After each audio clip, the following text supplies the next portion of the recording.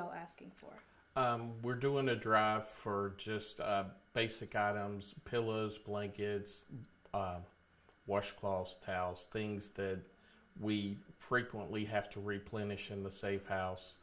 Um, so we're looking for those items to make sure that you know, should we have people come in, we have those available for them. And so, why do y'all have to um, replenish them, restock them so often? Um, well, either through wear and tear, or sometimes people need those things if they're leaving here and they've got their own place and they're starting over. Sometimes they need those things and they end up taking those with them. So we're just constantly having to re- refill the, the pantry on that.